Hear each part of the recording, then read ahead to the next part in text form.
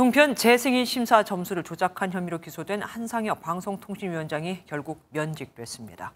후임으로는 이동관 대외협력특보가 유력하게 검토되고 있는데 대통령실은 다음 달 임기가 또 만료되는 전현희 권익위원장의 후임도 물색 중인 것으로 알려졌습니다. 원중희 기자입니다.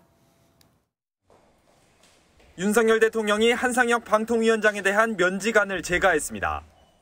대통령실은 면직 이유에 대해 TV조선 재승인 심사 과정에서 평가 점수를 조작한 혐의 등으로 기소된 방통위 국과장과 심사위원장을 감독할 책임을 이행하지 않았다고 밝혔습니다. 또 일부 심사위원에게 부탁해 TV조선 평가 점수를 사후에 재수정함으로써 일부 항목을 과락으로 만들었다는 사실을 보고받고도 조건부 재승인 결정이 내려지도록 했다고 지적했습니다. 대통령실은 이 외에도 형법 조항 4가지를 들어 한 위원장의 잘못을 강조하며 정상적인 직무 수행이 불가능한 상황에 이르렀다고 밝혔습니다.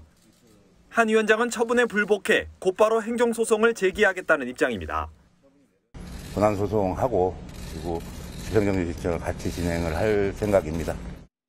차기 방통위원장으로는 이명박 정부 초대 홍보수석을 지낸 이동관 대외협력특보가 유력하게 검토됩니다. 대통령실은 이 특보가 공영방송의 공정성 강화 등 윤 대통령의 방송개혁을 이끌 적임자라고 보고 있습니다. 대통령실은 다음 달 27일 임기가 만료되는 전현희 권익위원장의 후임 인선도 준비하고 있습니다. 대통령실 핵심 관계자는 바로 임기를 이어가도록 인선을 해야 하지 않겠냐며 대선 캠프에 몸담았던 중량감 있는 변호사 출신 등을 대상으로 검증 작업을 하고 있다고 전했습니다. MBN 뉴스 원중입니다. 안녕하세요. 김주하입니다. 공정하고 신속한 MBN 뉴스 유튜브를 통해서도 만나보실 수 있습니다. 특히 더 많은 뉴스와 라이브를 보고 싶으시다면 오른쪽을 눌러서 구독하시면 됩니다. 어렵지 않죠? 빠르고 정확한 뉴스로 계속 찾아뵙겠습니다.